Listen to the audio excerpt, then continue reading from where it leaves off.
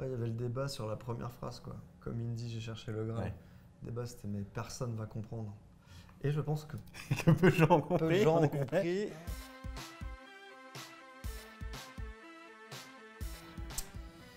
Allez, le premier mot qui me vient, c'est Illuminati, hein, Bien sûr. les satanistes. Ça, C'est pareil, le nombre de commentaires. hein, Ils ont vendu leur âme au diable. Euh, donc c'est financé par les Illuminati. Bien sûr. C'est moins à la mode d'ailleurs, les, les Illuminati, on n'en parle plus trop. Ouais. Euh, non, c'est juste de- un clip euh, qui est esthétique, réalisé par euh, Seb Desmet, qui a réalisé aussi euh, l'équilibre, euh, le clip de l'équilibre dans la foulée.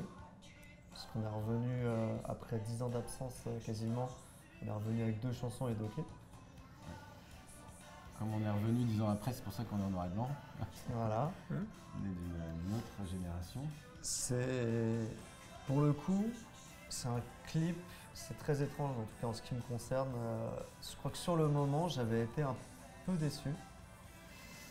Alors que aujourd'hui, c'est un de mes clips préférés.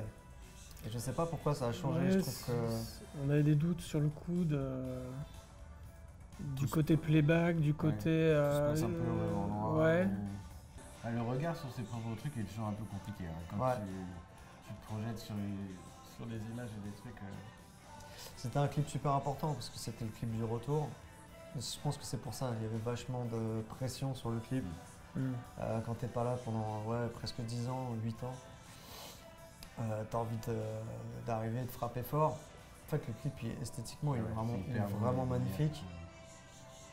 On remarque un petit clin d'œil au petit gamin de je cours. Ah ouais, voilà. Mm. Alors, ça n'est pas hein, Et le non, même, euh, le même- pas le vieilli. même gamin. Mais euh, c'est troublant parce qu'il lui ressemble vachement. Donc, le gamin euh, ouais, de la Joko avec la- le sweat capuche.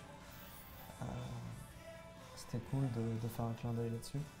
Si ce n'est qu'à la base, c'était pas forcément en noir et blanc. le. Donc, Non, il il y avait deux versions. Ouais. Et, euh, et en fait, on a, on a privilégié le noir et blanc.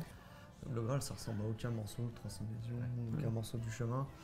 Donc c'était un, c'était vraiment un pari risqué. Euh, Je sais que Nico et moi, on était plutôt pour l'équilibre. Revenir Ouais. avec un titre qui ressemble pas trop à. L'équilibre qui est euh, Beaucoup plus traditionnel euh, par rapport à, à Kyo, ce qu'on avait fait avant.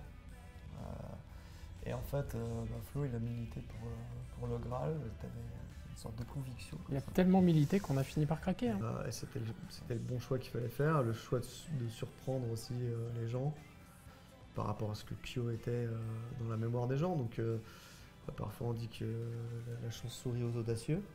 Là c'était le cas. Après il y avait le débat sur la première phrase quoi. Comme Indy j'ai cherché le. Ouais. Le débat c'était mais personne va comprendre. Et je pense que que peu de gens ont compris. peu de gens ont Je sais compris. pas, ouais. Mais ils aiment bien c'est quand la même. preuve que tu peux faire un, morceau qui marche. de- Bah, il y en a- ouais, mais c'est ça À fond, même si tu captes ils pas, réexpliquent, euh, euh, ils réexpliquent aux autres. euh, Ouais. Et si c'est ça, c'est une référence à Indiana Jones.